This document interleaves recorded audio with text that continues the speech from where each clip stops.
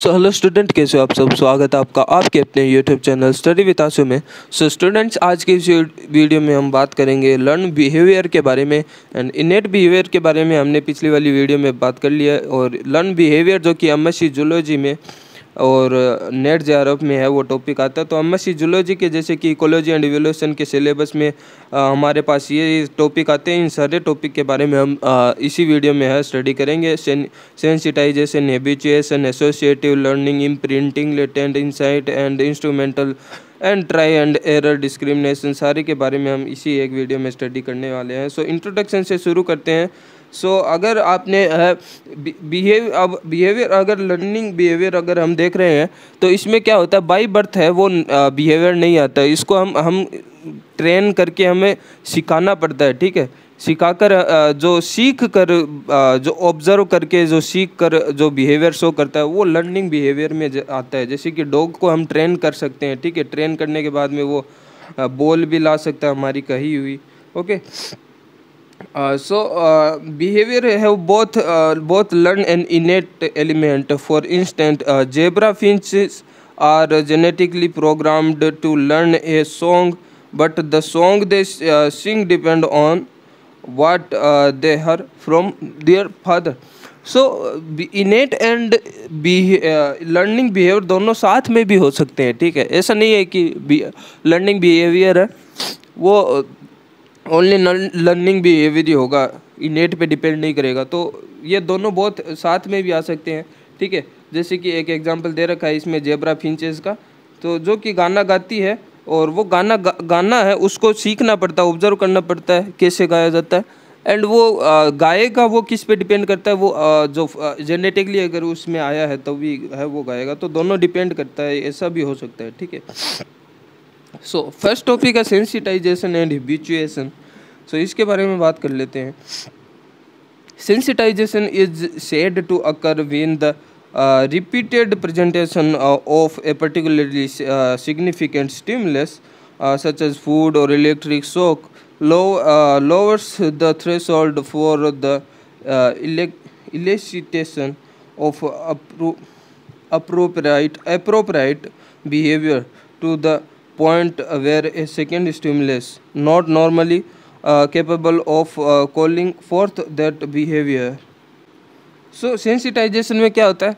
हम जैसे ही कोई भी स्टिमुलस हम रिपीटेड बाद बाद में हम अगर उसको देते रहेंगे ठीक है? जैसे कि एक अलग एग्जांपल है वो आगे इंस्ट्रूमेंटल में आएगा लेकिन जैसे कि डॉग के आगे वो घंटी बजाने वाला आपने सुना होगा। तो एक बार बजाई दो बार बजाई तीन बार बजाई तो ऐसे रिपीटेड स्टिमुलस जैसे कि इलेक्ट्रिक शॉक भी हम दे दे, दे सकते हैं उसके रिस्पॉन्स को बदलने तो रिपीटेड स्टिमुलस देने पर अगर उसका जो एनिमल का बिहेवियर है वो बढ़ता है तब तो वो सेंसिटाइजेशन में आएगा ठीक है? और हेबिचुएशन इसका उल्टा होगा ठीक है? आगे हम देखेंगे। सो so, इसका एक एग्जांपल है। Example is provide by the behaviour of the marine worm Nereis marine Nereis में भी है वो सेंसिटाइजेशन होता है। If the worm is keeped in small tube and feed at regularly interval its becomes progressively more likely to respond to any novel stimulus जो कि novel यानी नया स्टिमुलस जो भी नया स्टिमुलस आएगा तो उसके ऊपर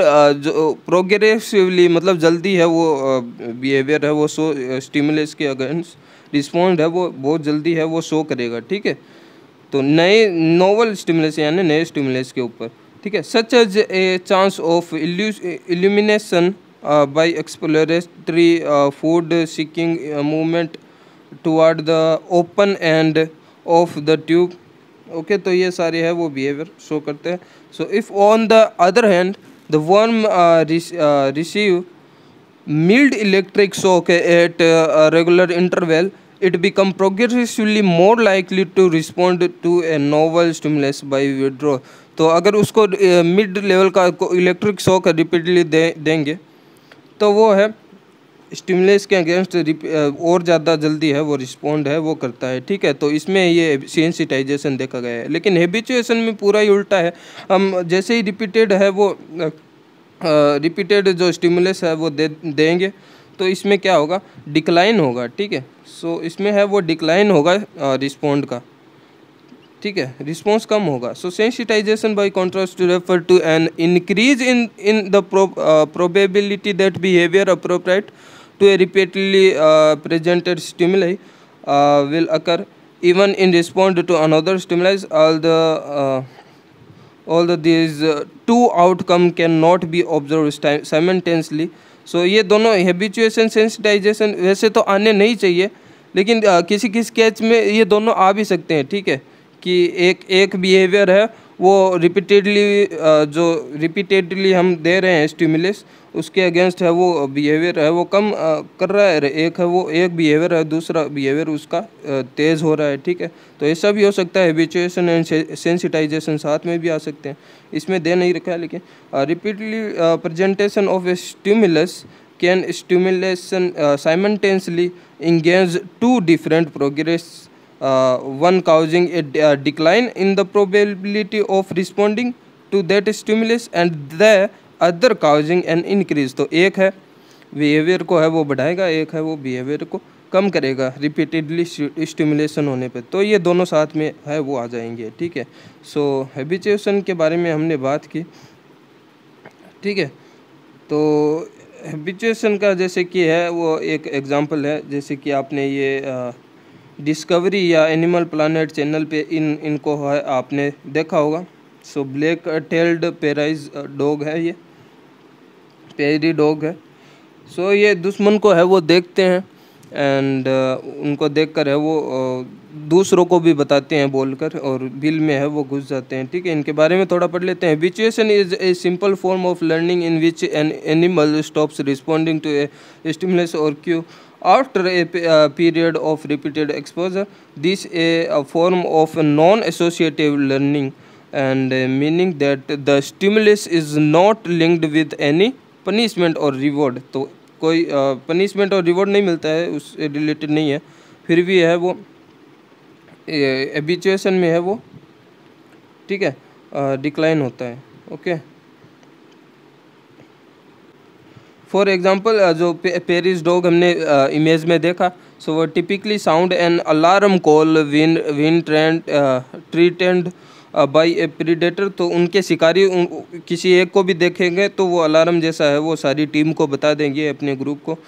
ठीक है? At first they will give this alarm call in response to hearing human step human step अगर उन्होंने स्टेप्स भी सुने हैं तो भी वो अलार्म दे देंगे and which indicate the presence of a large and potentially hungry animals okay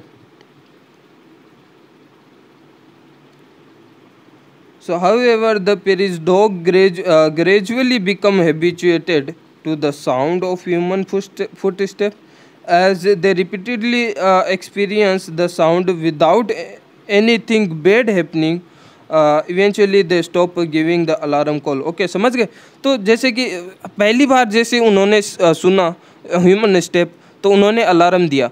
लेकिन अब जब बाद बाद में वो ह्यूमन स्टेप आए जा रहे हैं, आए जा रहे हैं रिपीटेडली है वो स्टिमुलस हो रहा है मतलब बाद बाद में ह्यूमन स्टेप आए जा रहे हैं तो वो, और वो कोई प्रीडेटर दिख नहीं रहा है, कोई नुकसान उनको हो नहीं रहा है, लेकिन फुट स्टेप सुनाई दे, दिए जा रहे हैं तो वो अलार्म को बंद कर देंगे, ठीक है? तो अपना रिस्पॉन्ड बंद कर रहे हैं ना डिक्लाइन कर रहे हैं तो ये एबिचुएशन में आ जाएगा, ठीक है?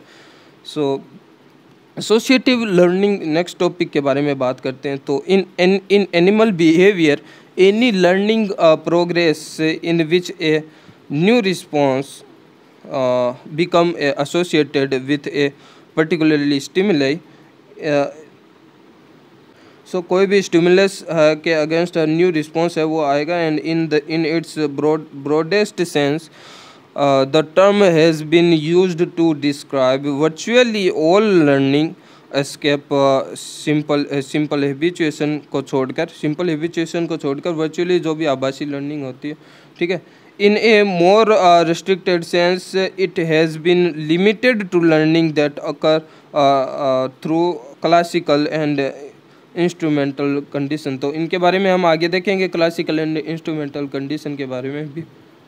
उससे पहले हमें इम्प्रिंटिंग जो नया टॉपिक आता है एम एस सी के जूलॉजी सिलेबस में तो वो इम्प्रिंटिंग भी है वो देख लेते हैं। सो इम्प्रिंटिंग क्या होती है? Imprinting is a simple and highly specific type of learning that occur at a particular age और life stage during the developmental of certain animal and such as duck and geese Uh, when ducking hatch, they imprint on the uh, first adult and typically uh, mother तो इनमें जैसे कि ducks है तो जब वो वो डक हैच अंडे का हैच होकर बाहर निकलते हैं जो चूजे उनके तो वो जिसको भी पहली बार देखते हैं टिपिकली वो अपनी मदर को ही देखते हैं।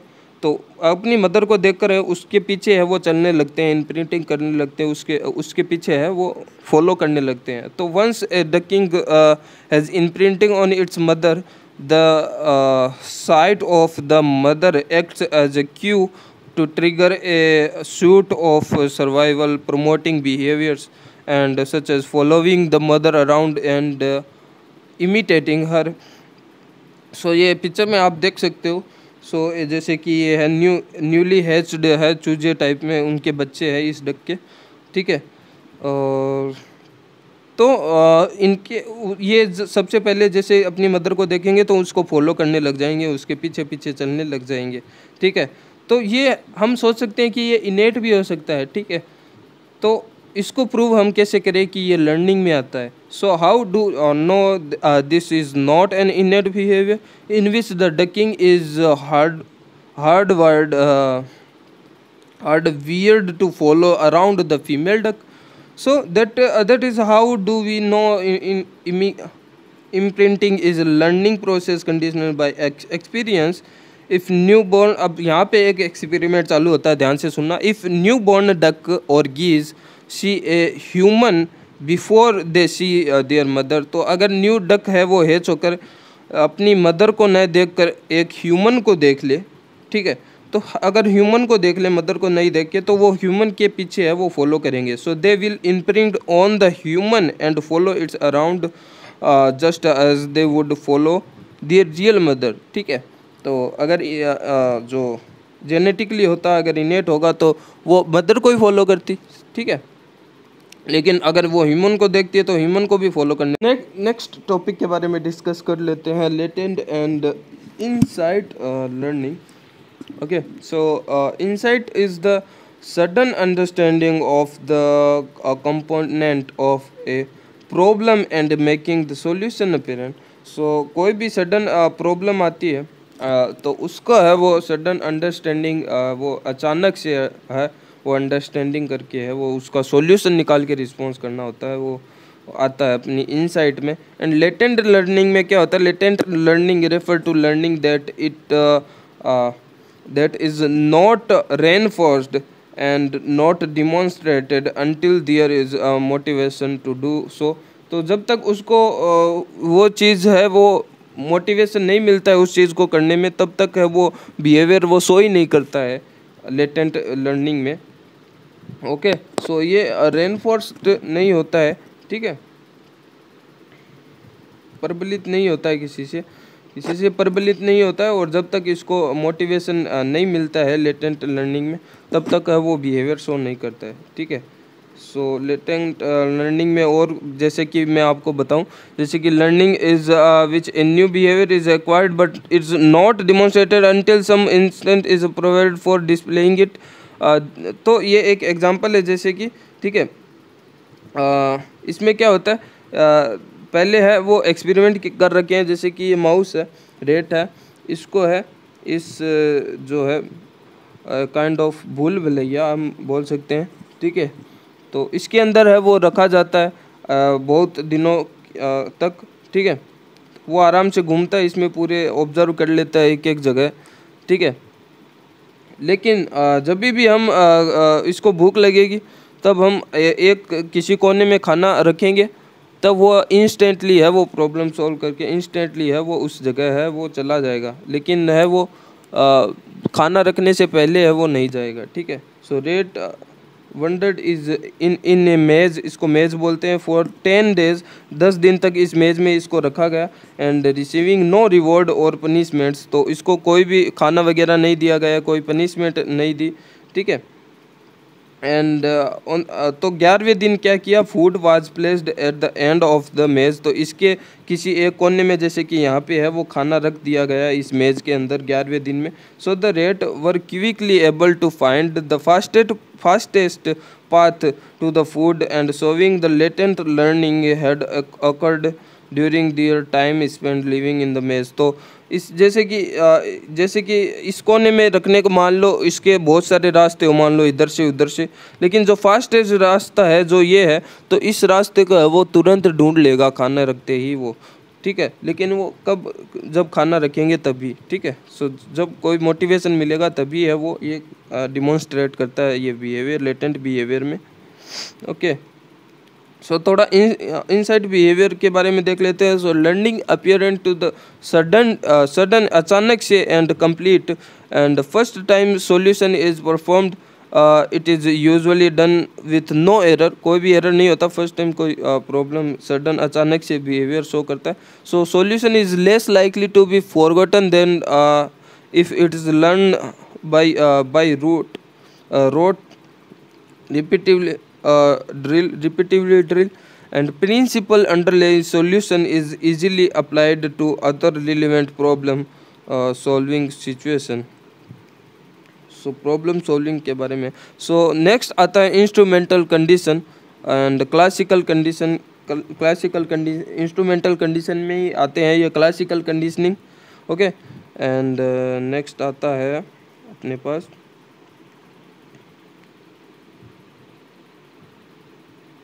सो ओपेरेंट कंडीशनिंग भी है, वो भी आती है classical and operant conditioning instrumental conditioning में ही आती है। So in classical conditioning a response already associated with one stimulus is associated with a second stimulus to which it had no previous connection so the most famous example of classical conditioning come from one Pavlov's experiment इन्होंने एक experiment किया पेलवन ने पेवलोन ने।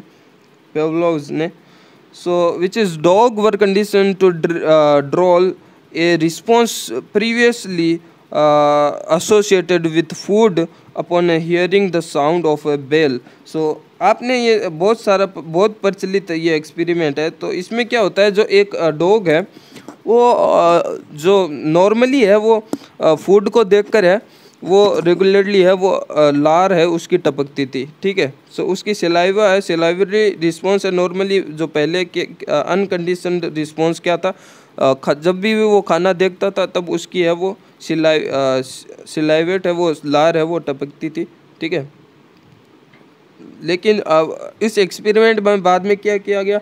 जब भी उसको खाना देते थे, ठीक है? वेन एवर जब भी उसको खाना देते थे, तब उसको घंटी बजा कर है, वो खाना देते, ठीक है?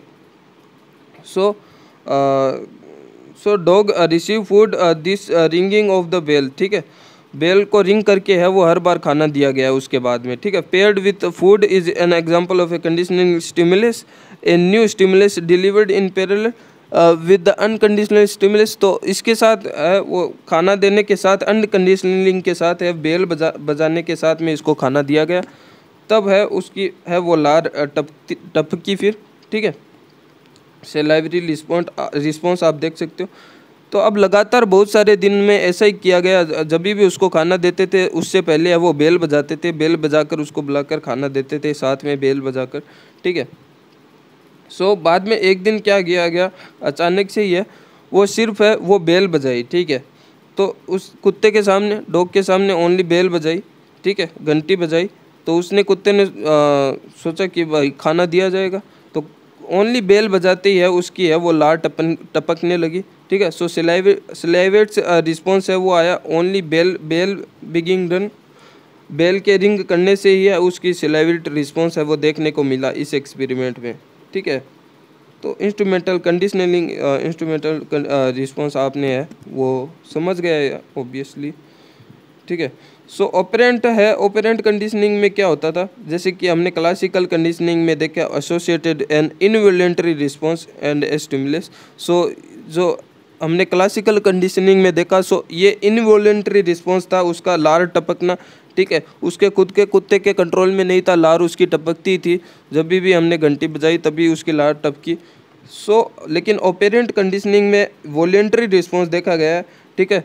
जैसे कि चू है उसको बहुत सारा है, जैसे कि जैसे कि उसको खाना अगर लेना होता है तो उसको पहले सीखना होता है कि जैसे कि उसके सामने तीन बटन है। अगर वो ये बटन दबाता है, तभी उसको खाना मिलता है, ठीक है? तो उसने दस पंद्रह बार है, वो ये दबाया ये दबाया, जब तो दस पंद्रह बार जब भी इसने ये दबाया, तभी इसको खाना मिला तो वो सीख गया, ठीक है, कुछ समय बाद। तो इस जब भी उसको खाना चाहिए होता था, उसको खुद को वॉल्टियर यानी उसकी इच्छा के अनुसार उसको ये दबाना पड़ता था, फिर ही उसको खाना मिलता था, ठीक है? तो ये ओपेरेंट कंडीशनिंग में आता है वॉल्टियरी रिस्पॉन्स आता है, ठीक है? और क्लासिकल में इनवॉलेंट्री है वो रिस्पॉन्स आता है। So trial and error learning के बारे में बात कर लेते हैं। ट्रायल एंड एरर लर्निंग में। So trial er and error learning का इमेज के द्वारा ही है वो समझते हैं। सो so, इसमें क्या होता है जो जो, जो कोई भी एनिमल्स होता है जैसे कि इस इमेज में आप कैट को देख सकते हो। सो so, इसको ज, जैसे कि रिवॉर्ड अगर अचीव करना है तो इसको खुद को सीखना होगा। बहुत सारे ट्रायल है, उसको करने होंगे अपने बिहेवियर के, ठीक है? जैसे कि वो कभी इस दरवाजे के है, वो धक्का मारेगा मान लो, कभी ऊपर है, वो धक्का मारेगा, ठीक है? तो इतने बहुत सारे ट्रायल कर रहा है, ठीक है? दरवाजे के अगर वो धक्का मारेगा, ये एक ट्रायल है, ठीक है? तो उसको खाना नहीं मिलेगा, यानी एरर हो गया, ठीक है? खाना नहीं मिला, यानी एरर तो ऊपर अगर कूदता है, खाना नहीं मिलता है तो वो एरर तो वो सीखता कब है? बहुत सारे एरर के बाद में सीखता है, ठीक है? बाद में है वो लास्ट में इस लीवर को अगर वो वो खींचेगा, ठीक है? तब ये दरवाज़ा खुलेगा, ठीक है? बहुत सारे एरर के बाद में।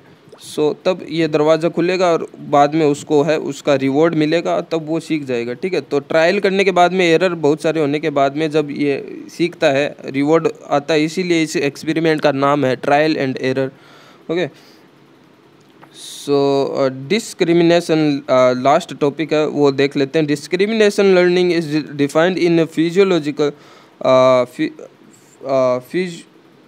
physiology as the ability to respond differently to different stimuli so this type of learning is use to study regarding operant and classical conditioning operant conditioning involve in the modification of the behavior by mean uh, of reinforced or punish punishment.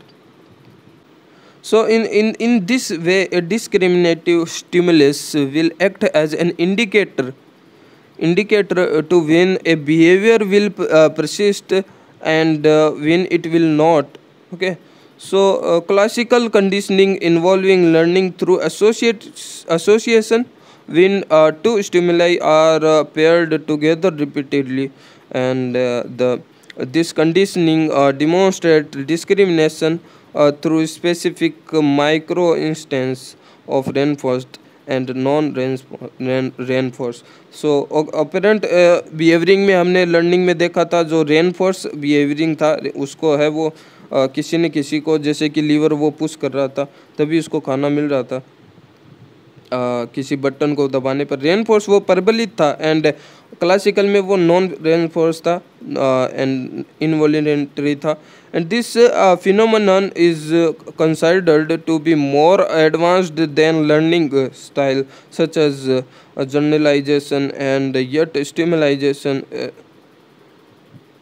okay simultaneously act act as a basic unit to learning a as a whole okay so इतना ही था इस वाली video में। Hope कि हमने uh, वो obviously हमने सारे है वो टॉपिक है वो पढ़ लिए हैं लर्न बिहेवियर में ठीक है? तो इतना ही था इस वाली वीडियो में। उम्मीद है आपकी ये वीडियो बहुत सारी हेल्पफुल होगी। तो चलो बाय बाय सब्सक्राइब कर देना चैनल को। ठीक है? बाय